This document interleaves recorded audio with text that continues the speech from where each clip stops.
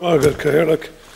Um, firstly, I'd like to thank uh, my, my, colleague, uh, Deputy Denis Naughten and Kite Niola, who have done a huge amount of work in relation to this area. And uh, without doubt, Minister, long COVID is here to stay, it looks like, and it is an absolute uh, medical syndrome, and there's no doubt beyond that now. And as I say, it is very hard to see um, where the treatment regimes are going, but we have to build a comprehensive service now in place uh, to, to, try and look after people who've been affected. And uh, just as importantly, we have to try and look at mitigating uh, people contracting COVID and the effects of uh, long COVID.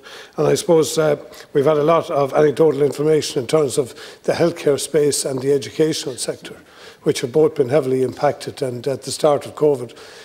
uh, you know, we know full well that we had people working in very compromised environments.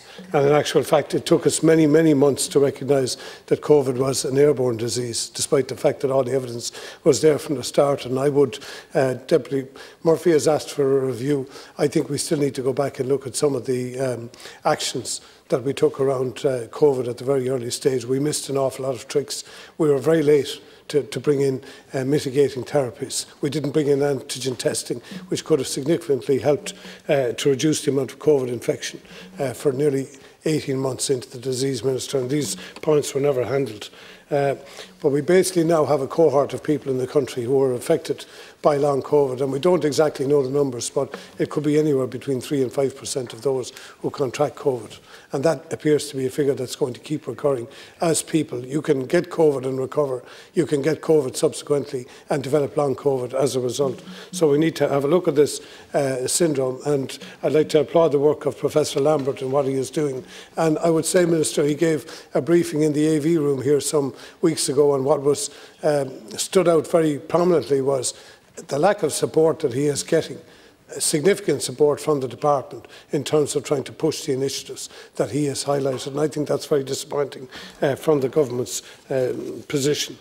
I think it's, it's, fair to say that long COVID now is largely, it seems, centred around neurological uh, syndrome, uh, syndromes and immune responses. And in that case, it falls into the whole areas of MEE, uh, fibromyalgia, and other areas that we have people in the country who suffer, and we haven't done enough for these patient cohorts uh, either.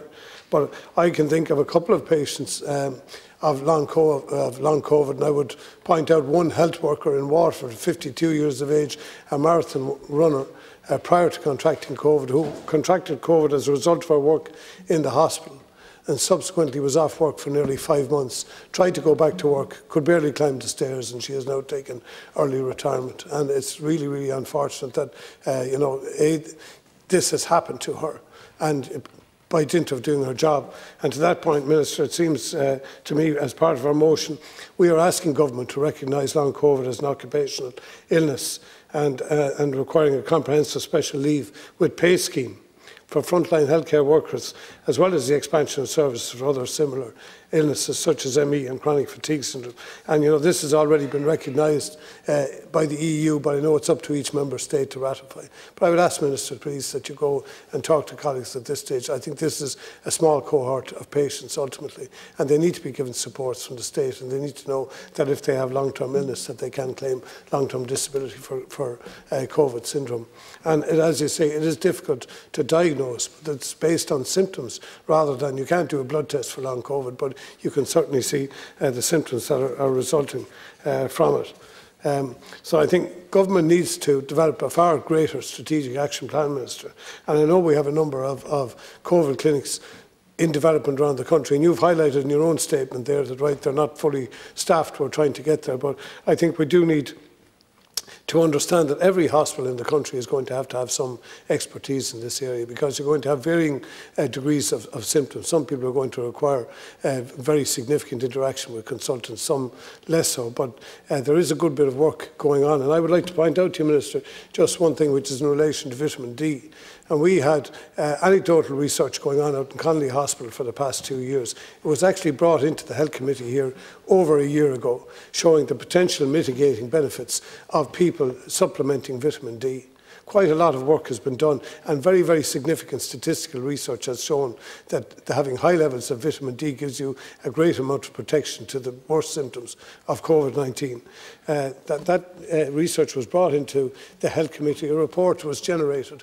We could have gone and done a public health piece around supplementation of vitamin D. We could have uh, given people access to vitamin D uh, through uh, financial supports to try and help, and we've done neither. And I think that's a great shame, uh, Minister. So, look, I want to join with my colleagues in supporting this motion. I think we need to recognise the occupational injury that has been caused, Minister, and we need to do more to support patients and most especially the caregivers who are trying to develop the multidisciplinary teams uh, to deliver this.